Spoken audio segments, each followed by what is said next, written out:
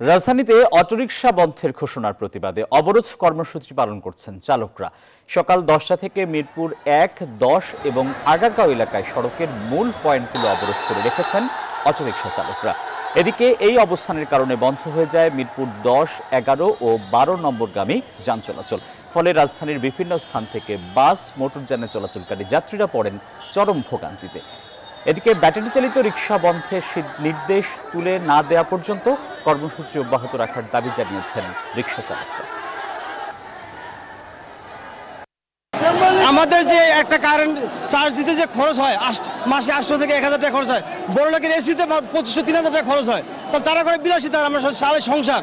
পরিবার নিয়ে কীভাবে চলবো? তার আমরা যত অটো গাড়ি আছে এই ঢাকা দক্ষিণ এবং উত্তরে আমাদের অবশ্যই সময় দিতে হবে।